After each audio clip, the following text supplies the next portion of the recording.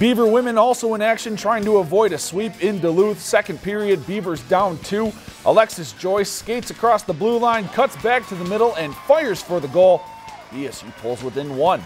Later in the second, Beavers down two again, but on the five on three, Emma Terres fires the one timer into the net. BSU pulls within one. Same score in the third. Alexis Joyce here firing the wrist shot. It gets blocked, but there's Terres again to clean up for her second goal, ties it at three.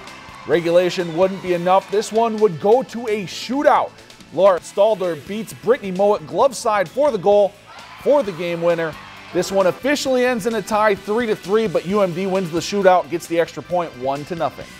If you've enjoyed this segment of Lakeland News, please consider making a tax-deductible contribution to Lakeland Public Television.